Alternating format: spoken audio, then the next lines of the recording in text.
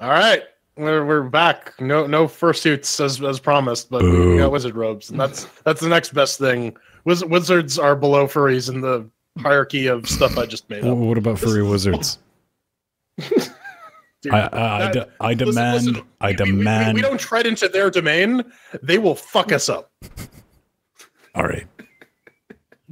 Any, any, anyways, this is this Full Metal Furies. We're gonna throw some chairs at it. It's from Cellar Door Games. The guys who brought you Rogue Legacy. It's written. Uh, it's developed it with uh, FNA, that thing that Flibit uh, designs. Flibit's not avocado, and um, they. Uh, what is it? Uh, or, or rather, you can pick it up for about twenty bucks. What is it? From the creators of Rogue Legacy comes a true cooperative action RPG. Full Metal Furies puts an emphasis on team play with a unique combat system where everyone is important. Not really. Play on the couch, alone, or with friends, or make an online party of up to four players.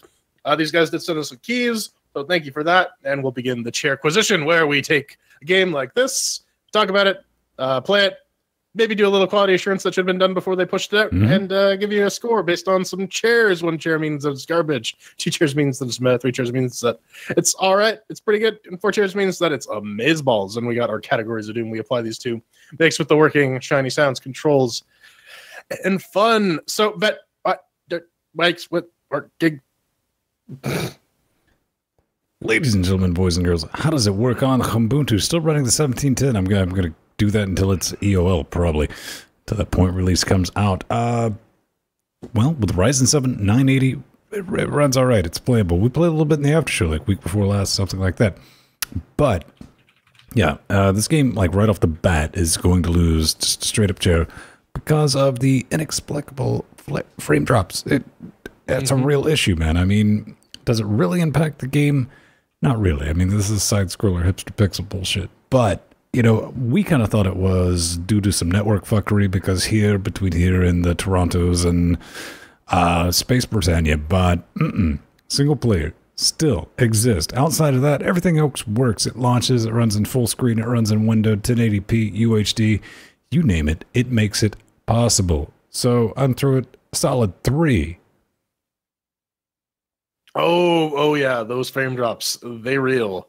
Uh, I tested this out on Fedora 26 64 bit with the uh, AMD A10 5800K and the GTX 750 Ti, as well as Fedora 28 64 bit with the i7 6700K and the GTX 980 with two 4K monitors plugged in. Uh, yeah, frame drops. Uh, it'll it'll for me it went as low as about 18 FERPs in like some random areas for no reason, Mhm. and then would just go back to normal once you get out of that area. Yeah, Mhm. three cheers. Yeah, no, it's uh it's really weird because it's only some specific levels. It's like the FERPs just drop down to 15, and if you go to some of the latter levels, it's like single digits on the frame rate. It gets really bad. Uh, I don't know what the hell's up with that, but I know that if one of your character dies, uh, even if you're playing single player, one of the character dies, and all of a sudden the frame rate improves significantly. Sometimes it ev- even goes back to like 60. So I don't know what the hell's up with that, but it gets you ding the chair over here running Solus 3.99995 uh, with the GTX 1080 and the Ryzen 5 16. Man, that version of Solus is really evil when it does handstands. Uh, we do want to point out that Flibbit Ibbity Jibbity Ibbity Bibo is aware of this issue and is currently looking into it. So let's go right into the shinies and the sounds. Jordan, how's how, Yeah, that, that- well, that was that was three chairs for makes with the working people can for those people can who maths. No, they can't. We we we. I was told. Hey, if you want the Yeah, full, everything- let me just say this: if you want the full detailed rundown of all this business, go check out the show notes. It's going to be in there. Don't worry about it. Yep. Yeah, yeah. All right. Anyways, um, everything's commonly done in terms of like uh design and whatnot. All the characters have unique designs and they're cute, but they're a little unremarkable. Uh, all the enemies are very like clearly delineated. Um, until the bullet hell segments, but we'll talk about that a little bit later.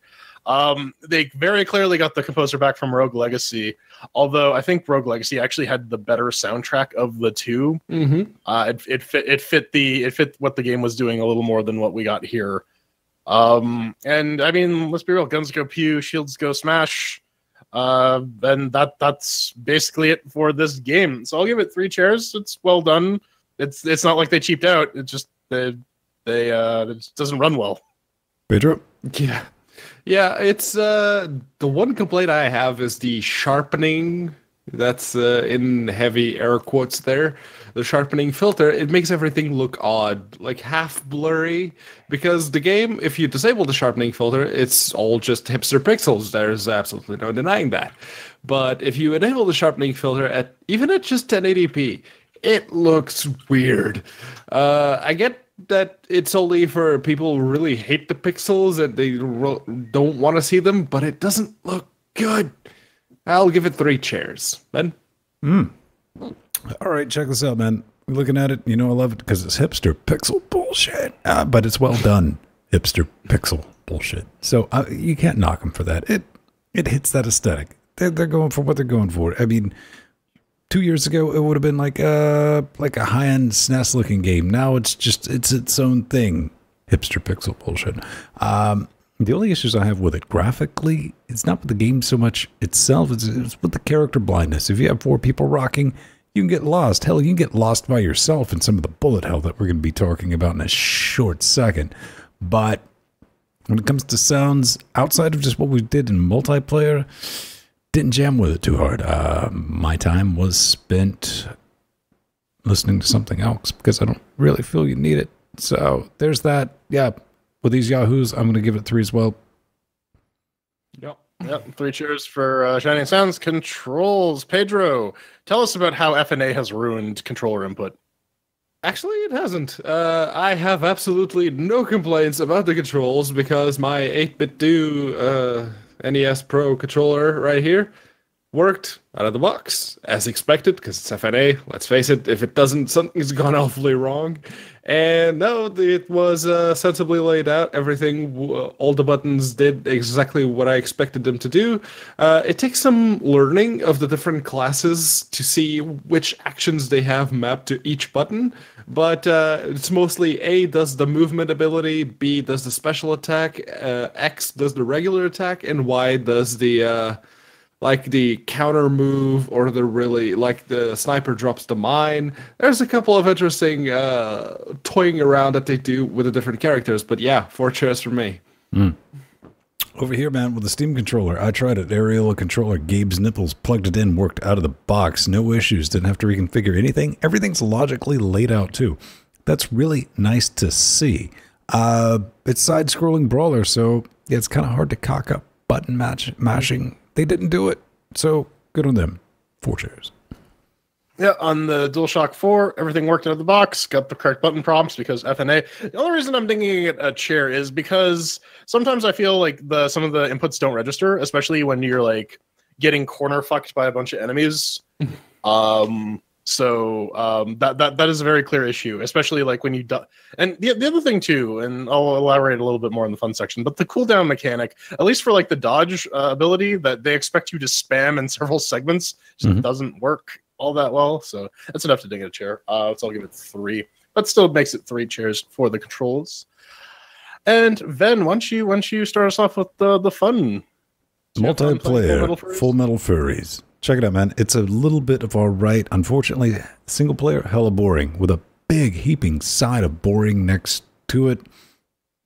You got to say, leveling up the different cla- the classes that you have. That's kind of neat. But really calling them separate classes is a bit of a stretch. Uh, it's basically, you know, they have slightly different abilities. I don't know if you'd go as far to say it's completely, you think uh, like Team Fortress 2 or something like that when I think classes. This, not so much the combat it works. Uh however i do say in multiplayer it's kind of fun because they color code you know this color enemy can only be attacked by this class. That makes things fucky interesting fun hard pain in the ass but in single player that can just eat a bag of dicks. That that's kind of a useless mechanic that causes you to waste your time and get killed to death a lot. Uh big big thumbs up for letting us skip those fucking cutscenes because it, this is a little brawler. I, I'm sorry. I know you got a story. I know somebody on the development team spent time writing a story. Some people are into that and they want to read it. I'm just not that person. I went to options like is oh right there, disable cutscenes. Thank you. That was awesome. Good people. Uh, with this in single forever alone mode, uh, I gotta say this. It's all right. It's like, okay, you do this, you can upgrade your abilities, you can find uh, items, the scrolls unlock blueprints, and, you know, all right, better weapons. That's cool. Collect gold, buy shit. Um, but I lost interest. If you're watching the video, it quickly turns into bullet hell. Bullet hell with enemies trying to murder you to death on top of that. So I was like, yeah, fuck it. I'm out. Tapped out. Uh, still, party game, local. It's got online multiplayer as well. So you might want to pick it up if you're just looking for something to do in an after shows or something. But I'll give it a solid two. Yeah, honestly, the the multiplayer is what saves this game. Single player is manageable because you can like swap between the various classes. You get you get to pick one, and then you get to pick a backup that you can swap to. And yeah, Ben, the, your, your your point about the um the color coded enemies in single player is super annoying, especially when like the one there's like a bunch of you're you're playing. So I, I was playing with the uh, the tank and the engineer because the engineer has the most spammable dodge. Um, mm-hmm. and when and it, basically comes down to like you got corner fucked, you switch to another character, you escape, but then everyone else on the field can only be attacked by that one person who has like no health. And so now you're just playing the dodging game, mm-hmm. and it, it, then then it becomes a bullet hell, and that's not my jam. I've said it multiple times on the show. I'm not into bullet hells; they're not my thing. Um, I mean, and here's the thing: like, uh, if you throw in some friends getting curb stomped by the whole area denial mechanic of the the latter parts of the game, you're gonna have yourself an on right all right time. And online multiplayer works. It's not like um, Charlie Murder or Dishwasher where things got a little fucky. The FNA networking mm-hmm. is pretty solid, all things considered. Um, but fun wise, it's just kind of a middle of the road game. It's Rogue, Rogue Legacy was I think in all aspects, Rogue Legacy was the much stronger game by Cellar Door. Mm-hmm. This is this mm-hmm. is an interesting um, take. This is them trying to do something uh, completely different, which I understand. You don't want to make the same game over and over and over again. That's cool, right? But uh, this is this is not their their best. I'll I'll give it a two. Yeah, I honestly I didn't hate the single player. In fact, I was enjoying it quite. How did lot. you get killed at this point?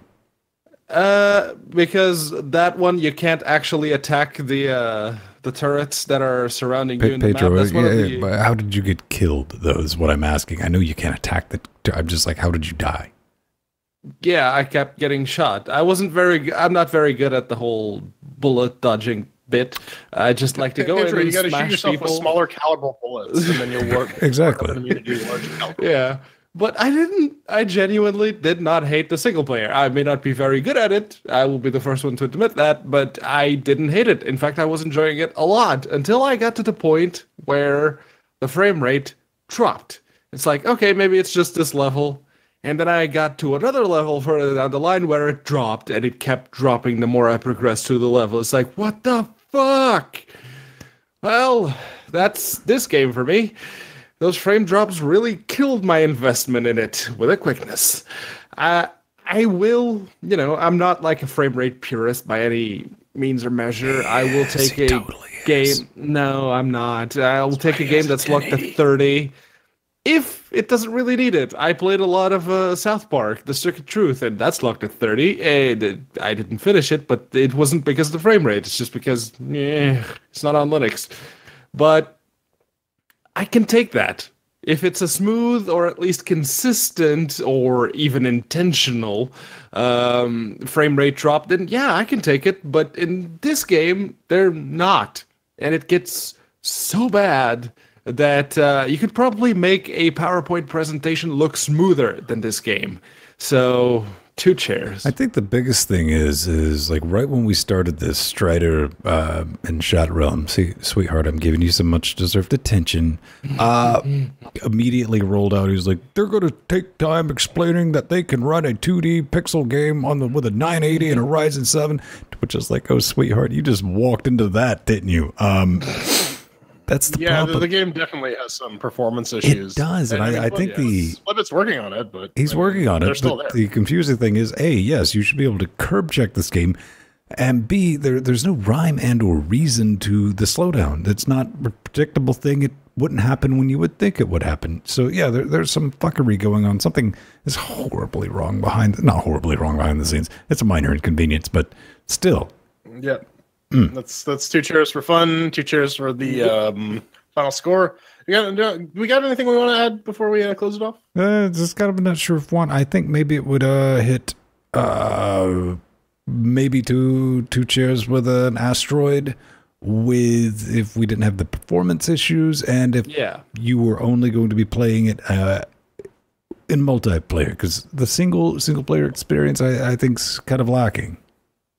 Yeah, and I, I mean like uh, so I played a bunch of this game on my uh, on my roommate's account Mhm. um because he was he was um and we we had three players going and it was it was it was actually an all right time um all, with all that going it's just the yeah the single player is not particularly fun in my opinion